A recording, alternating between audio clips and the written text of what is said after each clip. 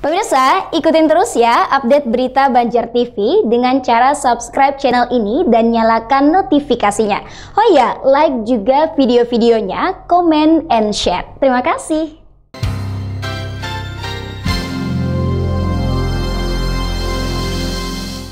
Selain itu pemilihan kepala desa atau pilkades serentak 2020 di Kabupaten Banjar ditunda karena wabah virus corona hingga waktu yang belum ditentukan. Pemilihan kepala desa atau pilkades serentak 2020 di Kabupaten Banjar ditunda.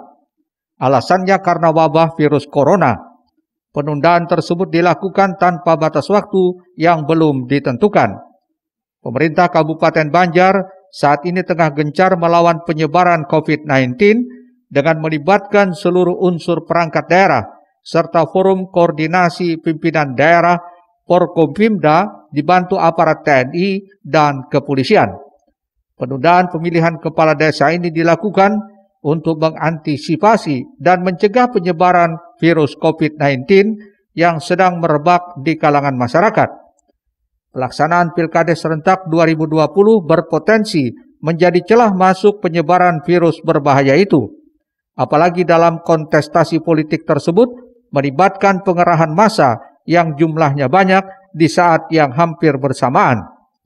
Penundaan pilkades tersebut ditegaskan Ketua Badan Permusyawaratan Desa ISNA yang menyebut sesuai dengan surat edaran Menteri Dalam Negeri Republik Indonesia serta surat keputusan Bupati Banjar terkait pengurangan virus corona membuat pihaknya menunda jadwal penyelenggaraan tahapan pemilihan pembakal secara serentak di Kabupaten Banjar dengan waktu yang akan ditentukan kemudian.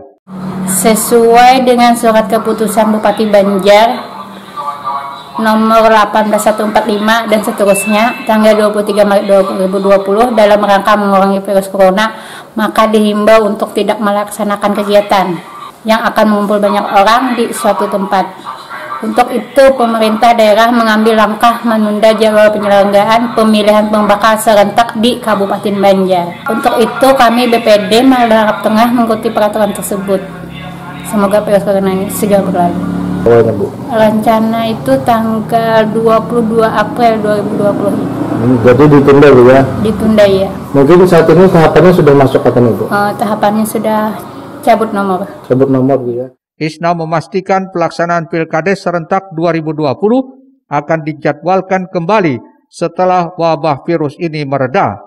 Pihaknya mengimbau kepada segenap calon kepala desa untuk menghentikan aktivitas politiknya termasuk kampanye terbuka dengan pengerahan massa. Rijali Apandi, Banjar TV